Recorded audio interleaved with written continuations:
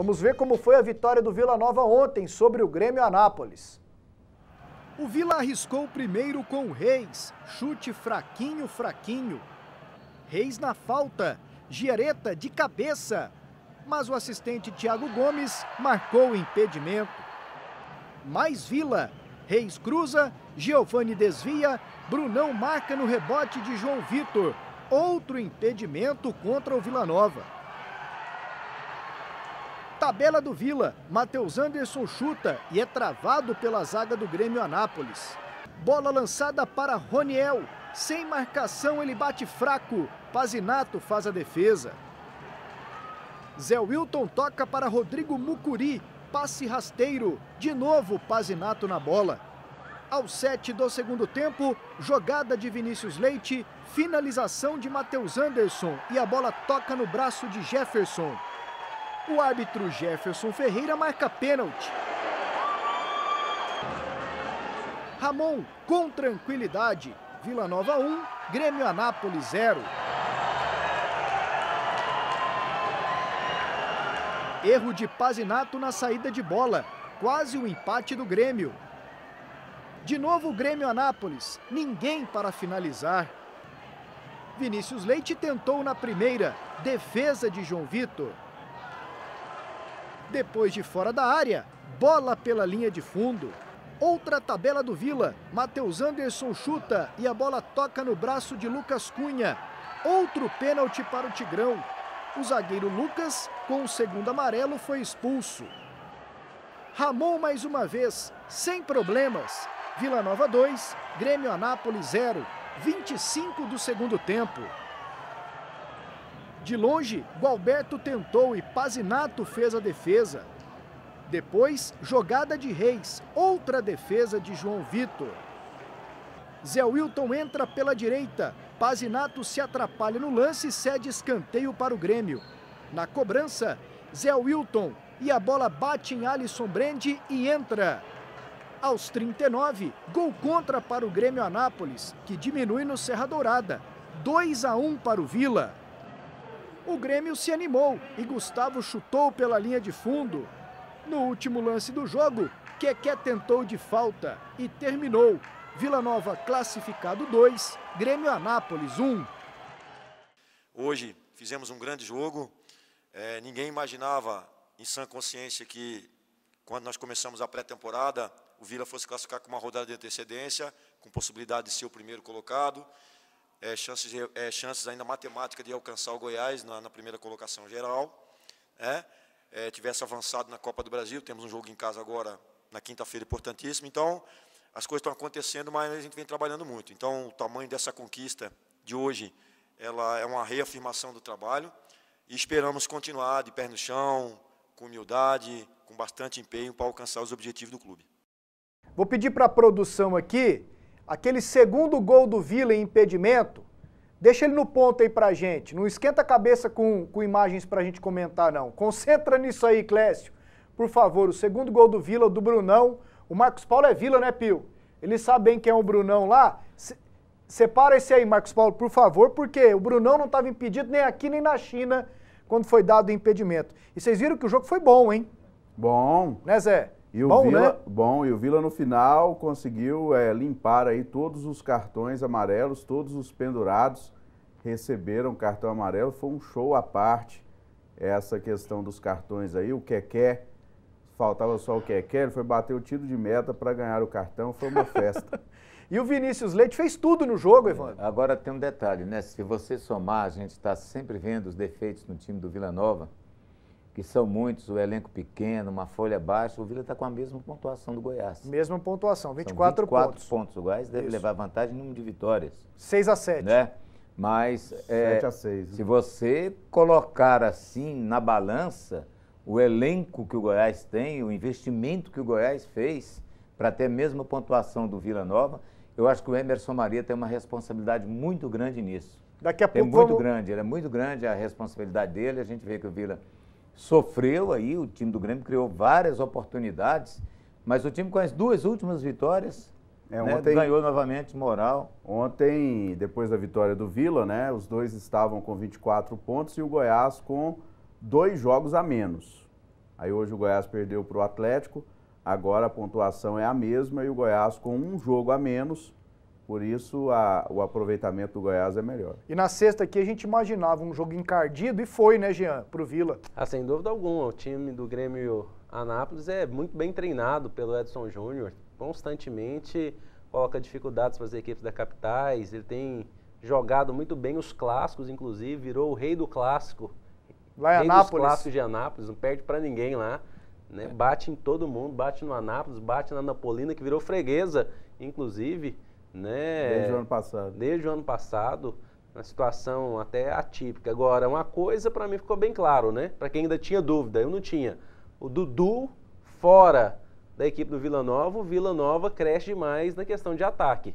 Posse de bola, acerto de passe, criatividade, é, finalizações. Para mim, eu não tenho dúvida a respeito disso nesse momento. Aqui Agora, o gol lá, Pasquetto, ó. sabe, só mais uma coisa aqui. Sim, Evandro. É, dois mil pagantes, não foi? Dois mil cento e pouco, né? Muito. Gente, é, o Vila Nova fez uma promoção, o valor do ingresso lá, 10 reais. Com um quilo de alimento. Então o problema não é preço de ingresso, não. Porque esse público que foi, ele iria 20 também. Né? Eu acho que o problema é a motivação do próprio campeonato. Porque muita gente, você vai ver o público do Vila Nova contra o Ferroviário do Ceará, em condições normais de tempo. Certamente passa de 12 mil torcedores. Eu acho assim, o, o torcedor, o problema é o campeonato goiano. Se você botar 20, botar 10, é a mesma coisa. Não adianta querer botar só se botar de graça. Assim mesmo tem muita gente que ainda não vai. Aqui, ó, o gol lá do Brunão. Não vai dar é pra ficar repetindo, Zé. Mas olha lá, ó. Que eu quero saber cadê o Bandeira. Tá lá na linha de fundo. Cadê o Bandeira? Boa, Cadê? pessoal. Cadê? Cadê? O que ele tá fazendo? Ele tá Olha na lá. bandeirinha de escanteio. Nossa, mas tá. Quando, quando o Ele vai Giovani voltar toca, lá. Ele dá três passos pra, pra esquerda. Não, olha o tal Brunão, gente. Tem a menor condição de estar impedido. quando o Giovani raspa de cabeça, ele não tá impedido nunca. Nunca. Tá passando Nunca, pelos nunca. jogadores do Grêmio. E o doutor é, Bandeirinha, que é o Thiago Gomes, né? Isso. Ele tá passeando. Ele tá desfilando. Ele tá lá na bandeirinha de escanteio. Tá vendo, coronel? Coronel, o senhor tá vendo o seu, o seu assistente, o que, que ele tá fazendo? Ajuda o futebol. Você tem dado muito serviço pro Coronel Se você Mota aqui nas em últimas consideração que o Vila rodadas. teve dois pênaltis, mas que foram, Foram, realmente os dois foram. pênaltis. É, com essa situação aí, o Vila passa a ser talvez o time mais castigado por arbitragem. E foi a rigor dos times da capital, o único que não reclamou até hoje de arbitragem. Evandro, e você acha que deu pro Emerson tirar conclusões para quinta-feira? Porque quinta-feira vale 1 milhão e 800 mil reais a vaga contra o Ferroviário. Deu para ele tirar algumas conclusões? Não tem muita opção, só se o Vila Nova contratar uns três jogadores aí até o dia do jogo. Eu digo assim, tentar porque- melhorar o desempenho Não, ofensivo, é, alguma não- não- coisa é, nesse porque, sentido? é, o Vila, você é, passa a régua que não vai ganhar do Anápolis, não tem time para colocar lá. Não tem, foram cinco ou seis que levaram os cartões, então não vai ter um time, o, o- o jogo do Anápolis carta. Agora, contra o Ferroviário, Brunão machucado. Se não for para o jogo, tem o quê? O Heitor deve estar voltando ou tem esse Brand aí? Alisson Né? Brandt. Quem mais que você pode colocar? O que poderia ser uma novidade no time do Vila, o Vinícius. né? Que é um menino que sempre que entra, melhora o rendimento ofensivo do Vila. E ontem foi bem e de nesse começo. jogo aí contra o Grêmio, ele foi bem. Ele participou do lance, que originou o primeiro pênalti. né? Depois um chute bonito de fora da área. Então, é um jogador que vai ganhando seu espaço no time do Vila Nova. Fora isso, Agora eu entendi o que, que o Bandeira tá fazendo ali. O que, Zé? Foi escanteio. Aí bateram o escanteio pra trás e ele ficou lá. Porque lance é um escanteio. Não acompanhar a linha de defesa. É, aí o Vila jogou a bola assim uns 25 metros pra trás. Ele ficou lá na bandeira de escanteio. Quais as conclusões, hein, Jean, que o Emerson tira para quinta, você acha? A minha é que ele pode colocar com certeza esse ataque que jogou ontem, um ataque mais leve. Vinícius Leite pelo lado esquerdo, vai bem no um contra um, tem velocidade. O Reis na armação tem um bom passe, é muito mais criativo do que o Dudu. É um jogador que, em relação à bola parada, nem vou falar que não faz diferença que ele jogando de um lado ou no meio, né, acaba que ele faz essa função de qualquer jeito. Mas o Vila tem muito mais posse de bola, muito mais pressão no adversário e isso é importante. né? Eu acabei assistindo o jogo do, do Ferroviário, um time que tem uma defesa, Foi principalmente Globo e Ferroviário, né? Globo e Ferroviário. Pela Copa do Nordeste. Isso. Lá em? Globo. Lá em, Quanto Glo- foi? Lá em Globo. 1x0 pro Globo. E- Ceará Mirim. E... O, o Ferroviário, então, ele perdeu para o Ceará 3 a 0 perdeu para o Globo e tem mais um jogo amanhã. É, mas já está eliminado. Da Copa é, do Nordeste ele está fora. Tem um lado defensivo muito frágil, é onde o Vila Nova pode chegar ali, principalmente com o Maguinho. Mas, por outro lado, eles forçam muito a bola aérea. Tem um centroavante muito forte. camisa 10 deles é bom, chuta de qualquer lugar, bate falta, é um jogador a ser observado. E o Vila vai ter que ajustar justamente a bola aérea, que é por onde o Ferroviário pode chegar. Nós há vamos falar boa, disso daqui a há, pouco. Há uma boa possibilidade para o Vila que pode melhorar o time do Vila Nova. Se ele voltar, o Fagner, e ele já, já estaria se movimentando. Para quinta? Para quinta-feira. Se ele voltar, será inegavelmente um ah, baita reforço para o Vila Nova. Agora, Porque com ele, sem ele, aliás, o Giovani também deu uma caída. mais dificuldades para jogar. Agora, Zé Roberto, esse quarteto dá para jogar então? Reis, Matheus Anderson, Ramon e, e Vinícius Leite? Claro, claro que dá para jogar, mas eu tenho dúvidas que o técnico vai lançá-lo é, de cara no jogo. Eu acredito que não. Eu acho que ele vai manter o time, né? Ele mantém o time com o Dudu. Matheus Anderson, Aí, Ramon e Reis.